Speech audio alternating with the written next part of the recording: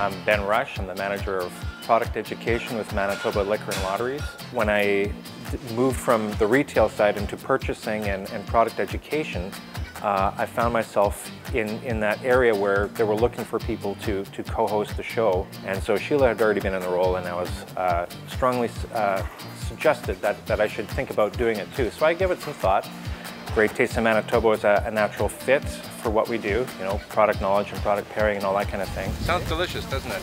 And I thought, what the heck, I, I would give it a go and, you know, I, I don't feel uncomfortable in front of a camera. Uh, I clean up real good when I need to, and so uh, uh, Manitoba Liquor and Lotteries is uh, Manitoba's largest purveyor of wine and spirits. Like I said, I've been with the company for 30 years and, and I've seen how our merchandising has evolved and our product selection has evolved and stuff like that, and it's kind of an exciting time to pop into a liquor mart and have a look and see what's new.